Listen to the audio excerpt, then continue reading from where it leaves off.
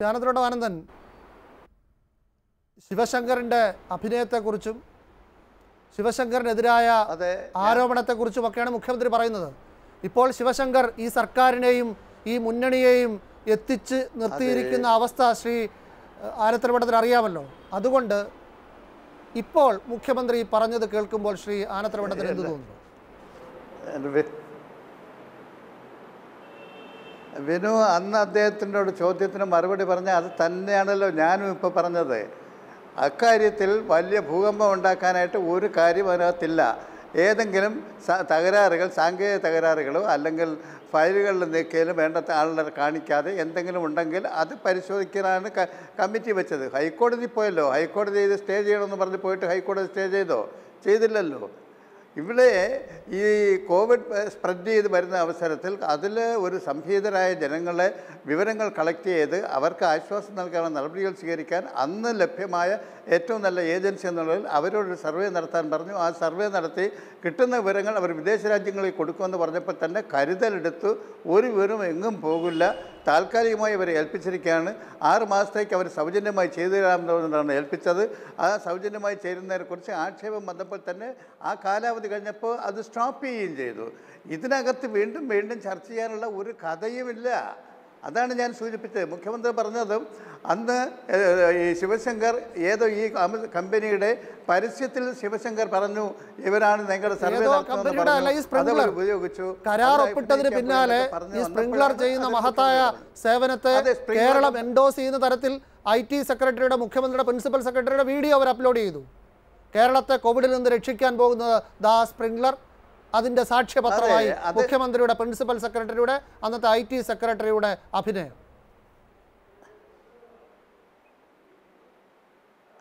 ആ സ്പ്രിങ്കറിന്റെ company Kerala government അവർക്ക് ഈ സേവനം നടത്താൻ അവരെ ഉപയോഗിച്ചു എന്നുള്ളത് ഉപയോഗിച്ച് അവരുടെ വ്യവസായ താല്പര്യത്തിന് വിനിയോഗിച്ചിട്ടുണ്ടാവാം. അതേത് കമ്പനിക്കാരും ഒരു സർക്കാരിന്റെ ഒരു ഓഫർ കിട്ടിയാൽ ഒരു ഓർഡർ കിട്ടിയാൽ സർക്കാർ ഇതാ ഞങ്ങൾക്ക് നൽകും. ഒരു വിശ്വാസ്യത ജനിപ്പിക്കാൻ വേണ്ടി ആ കമ്പനിയുടെ. അതവർ ചെയ്തിരിക്കും. ഈ സർക്കാർ ആ വർക്ക് കൊടുത്തില്ലെങ്കിൽ പോലും സ്പ്രിംഗർ കമ്പനി ലോകത്ത് അറിയപ്പെടുന്ന കമ്പനി തന്നെയാണ്. അതിന്റെ ഫലമായി ഈ കേരളം പോലൊരു കൊച്ചു സംസ്ഥാനത്തെ ഓർഡർ കിട്ടിയാലേ അവരുടെ ബിസിനസ് സ്ഥാപനം നിലനിൽക്കൂ എന്ന തെറ്റിദ്ധാരണയൊന്നും എനിക്കില്ല. ഈ ഇരിക്കുന്ന ചർച്ചയിൽ പങ്കെടുക്കുന്ന ആളുകൾക്കും ഉണ്ടാവുമെന്ന് എനിക്ക് തോന്നുന്നില്ല. പിന്നെ ഈ പ്രിൻസിപ്പൽ സെക്രട്ടറിയുടെ വീഡിയോ എടുത്ത് പോസ്റ്റ് ചെയ്യുകയില്ലായിരുന്നു ശ്രീ ആനന്ദൻ അവർക്ക് അതിന്റെ പിന്നിലുള്ള ലക്ഷ്യങ്ങൾ ഒന്നൊന്നായി പിന്നീട് പുറത്തു വന്നതാണ്. സ്ഥാപനം വലുതായിരിക്കാം. പക്ഷേ കേരള മാതൃക ലോകമാകെ അവരുടെ ബിസിനസ്സിന് സഹായിക്കുന്നതാണെന്ന് ശ്രീ ആനത്തലവട്ടത്തിനും അറിയാമല്ലോ.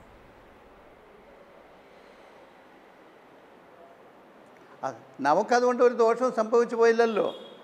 നമുക്ക് വല്ല ദോഷം സംഭവിച്ചു നമ്മുടെ മേഖല നേട്ടം ഉണ്ടാക്കിയിട്ടുണ്ട് ബിസിനസ്സിന്. നമുക്ക് വല്ല നമ്മുടെ ഡേറ്റ അവിടേക്ക് പോകുന്നത് ഒരു ഒരു ഇപ്പോഴും ഒരു ലക്ഷത്തി എണ്ണായിരത്തോളം ആളുകളുടെ വിവരങ്ങൾ പോയത് അവർ നശിപ്പിച്ചു കളഞ്ഞു എന്ന് വിശ്വസിക്കാൻ ഒരു സാധ്യതയുമില്ലെന്നാണ് ഈ അന്വേഷണ സംഘത്തിന് ബോധ്യപ്പെട്ടത്. അതവിടെ നിൽക്കട്ടെ. പക്ഷേ ഹൈക്കോടതിയിൽ പോയി ഒന്നും നടന്നില്ലെന്ന് ശ്യാനത്തിലൂടെ പറഞ്ഞല്ലോ. ഹൈക്കോടതിയാണ് ഈ ആളുകളുടെ ഈ ഡേറ്റയുടെ സ്വകാര്യത ഉറപ്പുവരുത്തണമെന്നും ആളുകളുടെ ഇൻഫോംഡ് കൺസെന്റ് അവരോട് വെറുതെ ചോദിച്ചിട്ടില്ല അവരിൽ നിന്ന് രേഖാമൂലം അവരുടെ സമ്മതം ഈ വിവരശേഖരണത്തിന് വാങ്ങണമെന്നും അത് ഈ ആവശ്യത്തിന് മാത്രമേ ഉപയോഗിക്കൂ എന്നുമൊക്കെയുള്ള സുപ്രധാന കാര്യങ്ങൾ ഹൈക്കോടതി ഉറപ്പുവരുത്തിയതാണ്. ഹൈക്കോടതിയിൽ ഒരു സത്യവാങ്മൂലമായി ചെന്ന് ദാ കോടിക്കണക്കിന് ആളുകൾ കേരളത്തിൽ ഈ ഉടൻ തന്നെ ഈ രോഗബാധിതരാകാൻ പോകുന്നു. ജനസംഖ്യയുടെ ഏതാണ്ട് പകുതിയിലേറെ ആളുകൾ രോഗബാധിതരാകാൻ പോകുന്നു. ആ, ആ സാഹചര്യത്തിൽ ഇത് ഉപയോഗിക്കാതെ തരമില്ല. ഞങ്ങളെ കേരളത്തെ രക്ഷിക്കാൻ ദാ സ്പ്രിംഗ്ലർ മാത്രമേ ഉള്ളൂ എന്ന് പറഞ്ഞപ്പോൾ ഏത് ഹൈക്കോടതി അതല്ലേ ചെയ്യൂ? ഡേറ്റയുടെ സുരക്ഷിതത്വം ഉറപ്പുവരുത്തണം. ആളുകളുടെ കൺസെന്റ് വാങ്ങണം. അങ്ങനെയുള്ള കാര്യങ്ങൾ പറഞ്ഞുകൊണ്ട് കേസ് മാറ്റിവെക്കുകയാണ് ചെയ്തത്.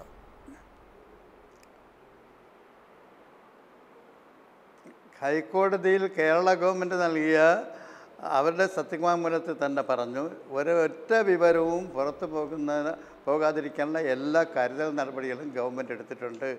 അത് ഞങ്ങൾ അനുവദിക്കില്ല. എന്ന് കേരള ഗവൺമെന്റിന് വേണ്ടി പറഞ്ഞത് നമ്മൾ അതും കണ്ടില്ലേ? അവിടെ പോയതെന്തിനാണ് ഈ സർവേ നിർത്തിവെക്കണം സ്റ്റേ ചെയ്യണം. ഇതിൽ ലാ സെക്രട്ടറിയുടെ ഒപ്പീനിയൻ ചോദിച്ചില്ല ക്യാബിനറ്റ് തീരുമാനിച്ചില്ല ഹെർബറി ആയിട്ട് ഈ കാര്യങ്ങൾ ചെയ്തു. ആ നടപടിയൊക്കെ തെറ്റ്. അതിനെക്കുറിച്ചൊക്കെ ഹൈക്കോടതിയുടെ കമന്റ് എന്ത്? വല്ലതും പറഞ്ഞോ? ഇപ്പോൾ തിരിഞ്ഞു നോക്കുമ്പോൾ കാര്യത്തിൽ കേരളത്തിലെ ജനങ്ങൾ നിയമവകുപ്പ് അറിയാതെ കേരളത്തിലെ ഗവൺമെന്റ് ധനവകുപ്പ് അറിയാതെ മന്ത്രിസഭ അറിയാതെ ഒരു വിദേശ കമ്പനിയുമായി കരാർ ഒപ്പിട്ടത് ശരിയാണെന്ന് ഇപ്പോൾ തിരിഞ്ഞു നോക്കുമ്പോൾ ശ്രീ ആനത്തലവട്ടത്തിന് തോന്നുന്നുണ്ടോ? അല്ല അത് ആ കരാറിൽ സാങ്കേതികമായി എന്തെങ്കിലും ന്യൂനതകളുണ്ടെങ്കിൽ ബന്ധപ്പെട്ടവരുമായി കൺസൾട്ട് ചെയ്യാതെ ചെയ്തിട്ടുണ്ടെങ്കിൽ ആ ചെയ്തിട്ടുള്ളതിനെക്കുറിച്ച് പരിശോധിക്കാനാണല്ലോ കമ്മീഷനെ വെച്ചത്. ആ കമ്മിറ്റി പരിശോധിച്ച് ന്യൂനത ഉണ്ടെന്ന് പറഞ്ഞാൽ ഉചിതമായ നടപടി സ്വീകരിക്കുമെന്ന് ഞാൻ പറഞ്ഞല്ലോ.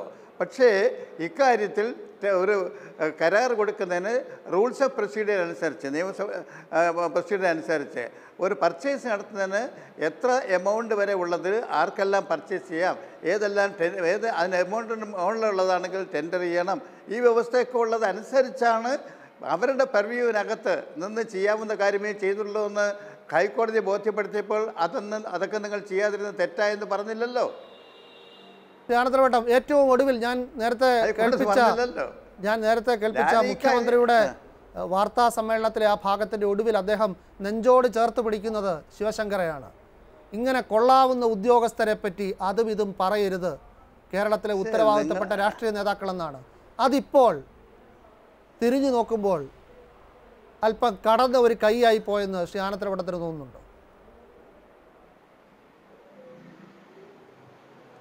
വിനു നമ്മുടെ കൂടെ വർക്ക് ചെയ്യുന്നവരെ കുറിച്ച് നമ്മൾ വിശ്വാസത്തിലെടുക്കും നമുക്ക് അവർ നമ്മുടെ കൂടെ വിശ്വാസത്തിൽ നിന്ന് വർക്ക് ചെയ്തിട്ട് വിശ്വാസ വഞ്ചന ചെയ്ത് ബോധ്യപ്പെടുമ്പോഴേ തള്ളി പറയും.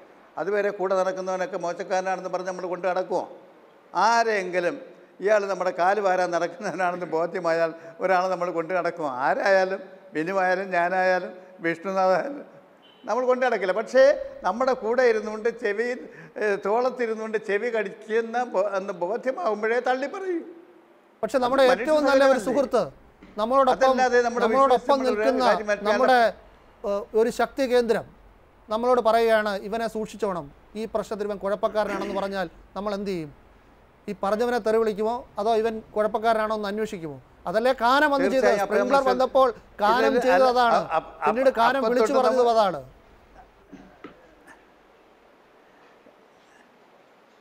അല്ല വിനു സ്പ്രിംഗറിന്റെ കേസിൽ ഗവൺമെന്റ് എടുത്ത നിലപാട് സുതാര്യമായിരുന്നു അത് പറയുകയും ചെയ്തു.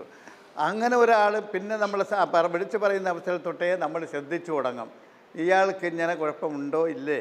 നമ്മുടെ സുഹൃത്തായ ആൾക്കാരും ഇങ്ങനെയൊക്കെ പറയുന്നു. ശ്രദ്ധിച്ചു തുടങ്ങും. അതിനുശേഷം അയാൾ ഏൽപ്പിക്കുന്ന കാര്യങ്ങളിലൊക്കെ ഒരു ജാഗ്രത കാണിക്കും ആരായാലും. അത് കാണിച്ചിട്ടുണ്ട്.